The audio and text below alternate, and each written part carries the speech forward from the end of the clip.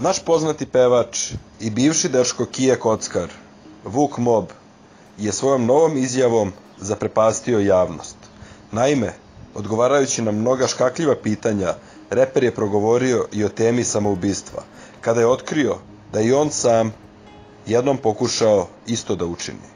Samoubistvo nije kukavičluk, ali nije ni hrabrost. Eto, ja sam probao da se ubijem jer sam mislio da nemam izlaza. Nažalost, nisam potražio pomoć, a bila mi je potrebna. Srećom, sada je sve iza mene, priča pevač.